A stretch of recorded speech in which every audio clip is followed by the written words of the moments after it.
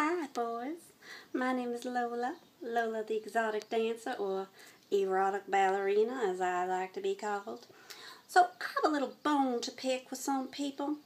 It's come to my attention that there are some ladies calling themselves pole dancers who have their little exercise classes, and that they've been really kind of getting my stuff as a stripper by saying that, well, what they do is not what I do and that it's like some horrible thing like what I do, but what they do is fine. So anyway, the other day I was on stage and this customer, I was like holding on to the pole and just doing like a little twirl around, and he's all like, well, when you gonna climb up and hang upside down and spin around by your toes and stuff? And I was like, hey, hey, hey, hey, hey, I am a stripper.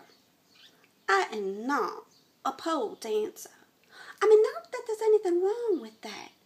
But you know what, ladies? Just as much as you might not want to be affiliated with me and my profession, I really don't want the connection either. Because, honey, I don't want to be doing sit ups for a dollar, hanging from a pole.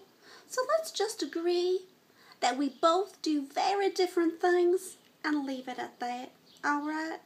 I won't come marching into your territory, but, gentlemen, please. I am not a pole dancer. I am a stripper. Thank you.